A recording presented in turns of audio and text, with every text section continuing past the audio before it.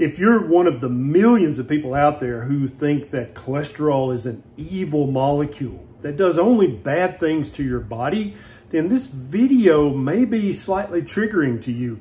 I'm going to tell you multiple things that cholesterol does for you in a, in a positive light. It's actually good for you.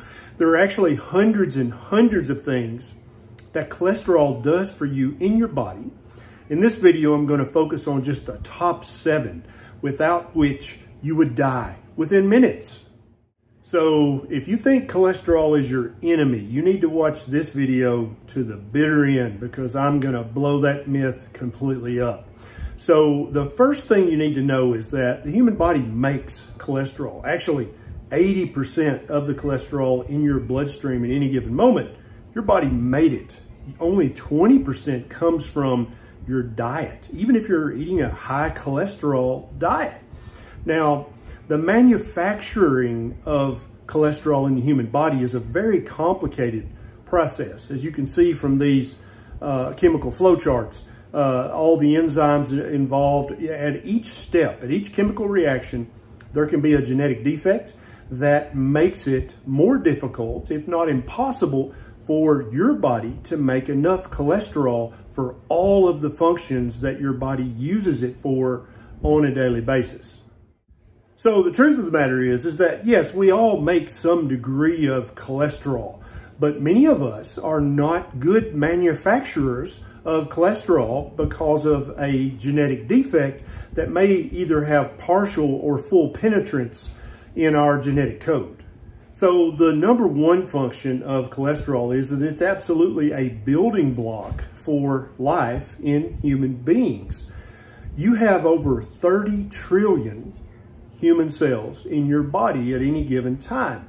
And each of these cells has a cell membrane around it.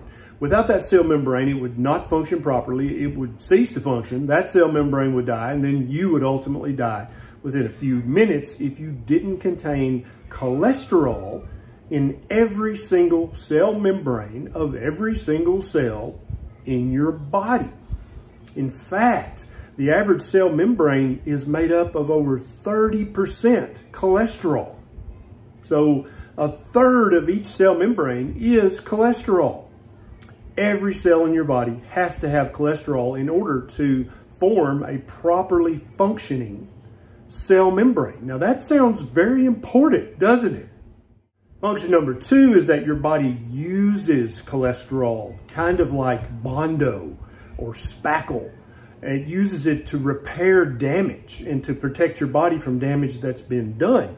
Indeed, when researchers first found cholesterol deposits in the arterial walls, they thought that the cholesterol was doing the damage that's a very juvenile, sophomoric way of thinking. Actually, your body was putting that cholesterol there to try to stabilize and to repair and to heal the damage that was done to those arterial membranes by the highly inflammatory, high carbohydrate modern human diet.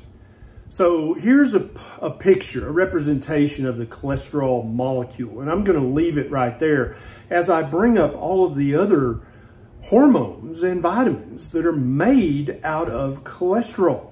Yeah, your body uses cholesterol as, a, as one of the foundational building blocks of testosterone, estradiol, progesterone. Those sound pretty important.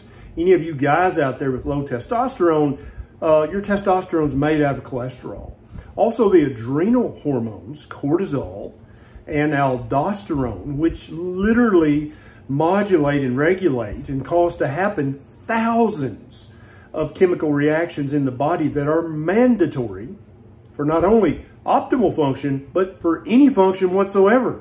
Without those five hormones, you would die within minutes. Your body also uses cholesterol as a basic building block for most of the vitamin D in your body. And you can see the resemblance in the two molecules, right? So as your blood goes through your skin, ultraviolet light from the sun happens to, to cholesterol. Several steps later, voila, vitamin D. Your body also uses cholesterol to make bile, which is made by your liver and stored in the gallbladder, if you still have one. And your body uses this bile to emulsify or break down the fats that you eat. Now, this is an excellent point. I want you to pay very careful attention to this. Uh, human physiology always makes sense. Now, if cholesterol were truly the enemy, dastardly molecule that we're taught that it is, your body secretes tons of bile into your small intestine in order to emulsify fats. Now, if cholesterol was the villain, your body would allow that to pass through and you would poop out all that extra cholesterol. That'd be an excellent re release valve. Oh no, my friend. You know what your body does? It actually actively reabsorbs the bile, the cholesterol in the bile, back into the circulation to be reused again and again and again.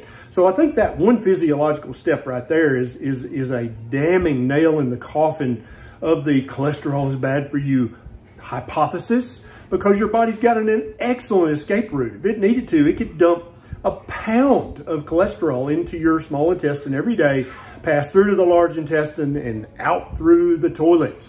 But your body says, no, that cholesterol is too valuable and it reclaims the majority of it and pulls it back into the circulation to use again. Without the bile that's made of cholesterol, you would not be able to absorb the fat-soluble vitamins, vitamin A, vitamin D, vitamin E, and vitamin K. You would pass these through. You wouldn't absorb them. And without the fat-soluble vitamins, you would be dead in a few days. Now, after seeing all these very important physiological things, you may be asking the logical question, why does my doctor want to lower my cholesterol so much? Why are they telling me to eat a cholesterol-free diet and then also take a cholesterol-lowering statin or PK, PCSK9 inhibitor? Why do they want it to be so low? My answer to you is, that's a good damn question. You should let your doctor watch this video and then say, now doc, these things sound very important to me. Shouldn't I be trying to, as the human body does, preserve and conserve my cholesterol? I shouldn't be trying to, to pharmaceutically lower it, right? So let's all stop villainizing cholesterol. Let's accept it for what it is. It is a good guy in the human body. Your body makes 80% of it. Every single cell membrane in your body is at least 30% made from cholesterol. Cholesterol is used in making multiple hormones and vitamins. It's, it's, it's used to heal and repair hundreds of tissues in the human body. Cholesterol is your friend. This is Dr. Berry. I'll see you next time.